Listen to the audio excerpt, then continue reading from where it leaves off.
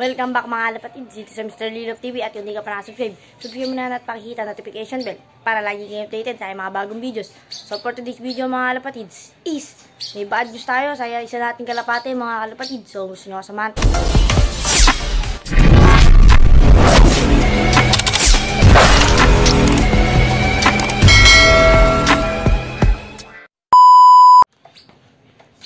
So yun mga kalapatids, ito nga yung isa nating double ko, dinaga siya mga kalapatids.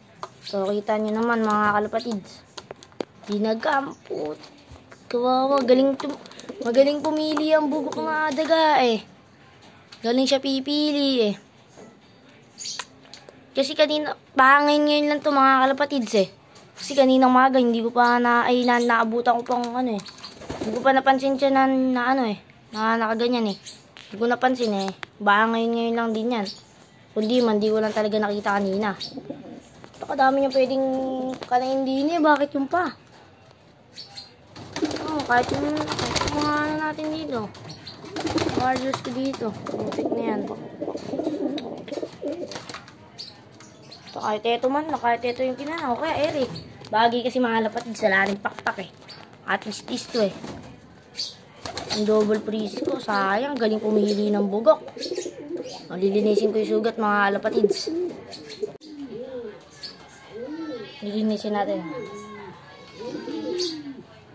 Ako, kawawa. Kawawa isa mo.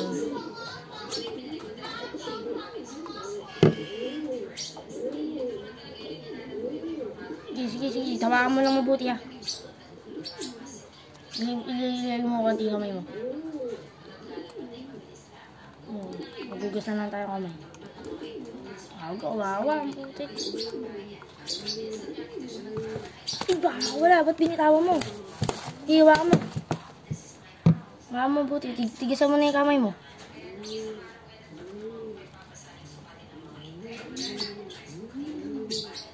Iwa mo na. Iwa mo lang. Lagyan mo dito. Iwa mo mabuti. Baka lumakawala ka. Ay, ito. Ano? Mm, Tabi mo yung kamay mo. Alam mo yan? Ano? Siya mga alapatids, dinig natin siya sa kaparis niya. So, kawawa naman mga alapatids. Pero ginamot na natin mga alapatids. Pero sana mga alapatids, hindi siya ma-infection.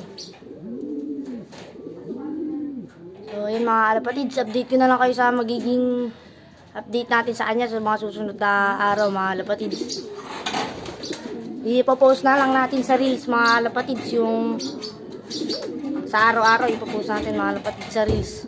Sa reels natin ipopost mga lapatids. So mga lapatids, yung iba nga pala dito, ibinibenta na namin mga lapatids. Iba naming mga ibon dito mga lapatids.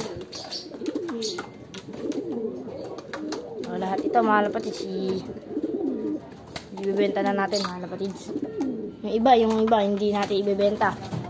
Picture natin sa isa-isa mga lapatids. So, 80 lang ang isa, mga alapatids. 80 lang, mga alapatids. Magaganda na din, magaganda na yan, mga alapatids. Ang mga natin.